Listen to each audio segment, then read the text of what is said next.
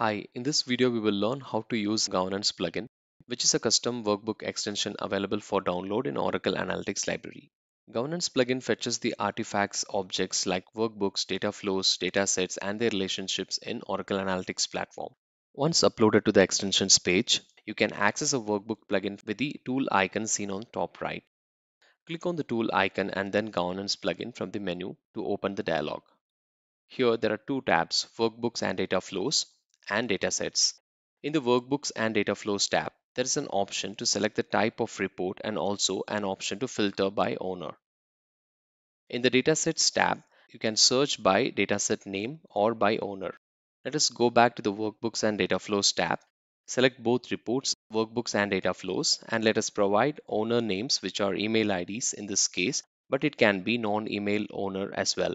Multiple owners can be separated by comma. Let us hit submit button. You can see the status updates on bottom of the dialog while the reports are being fetched in the background. It might take few minutes depending upon how large the output is. When the browser says page unresponsive, please click wait button for the process to finish. Once the process completes, the output reports are downloaded in the local file system. The generated output is limited to the visibility of the user access and permissions. Let us move on to the datasets tab. Here you have an option to search datasets by their names or by owners.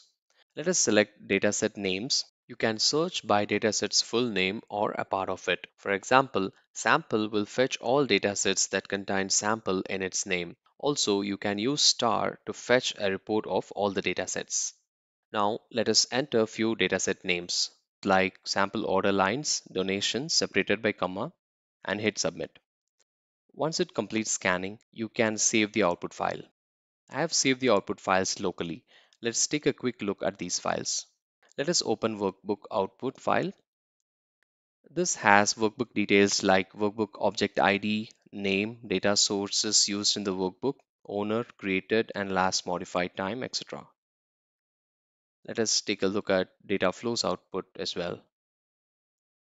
Here we see the data flow name, object IDs of input and output data sources, owner and last modified time. Let us see the data sources output. Here you can see data source details like object ID, data source name, subject area saying whether it's an RPD or XSA, connection name, type, owner, etc. Also, you find some interesting columns like enable for, which says whether the assistant and homepage ask are enabled on that dataset or not. Similarly, you have columns for auto insights and knowledge reference as well. In OAC, I have created a multi-table dataset with output files joined using data source object ID, which is available in all three outputs. With that dataset, I have created few canvases to visualize the governance output data. This canvas shows the overview of number of various artifacts present in this instance. For example, 551 workbooks, 1040 datasets, 41 data flows, 45 connections using simple calculations. The pie chart on the top right shows percentage of datasets on which auto insights are enabled. The pie below shows the percentage of datasets which have AI Assistant and Homepage Ask enabled. In the next canvas workbooks, we have network graph connecting data sources and workbooks. For instance, these are the workbooks using sample order lines as the data source. And here we have the workbooks using sample states. As you can see, these are the few workbooks which use both sample order lines and sample states as data sources. The data sources output has been loaded twice in this multi-table dataset to be able to get this Sankey chart that you see here.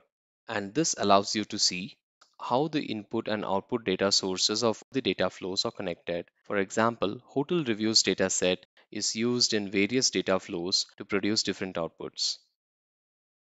This canvas shows how the governance output can help us find all related artifacts from a connection. As we have joined the tables with data source object ID, all related data flows and workbooks can be identified using the connection name on a single click. Lot of helpful insights like these can be extracted for administrative purpose using Governance plugin. Thanks for watching this video.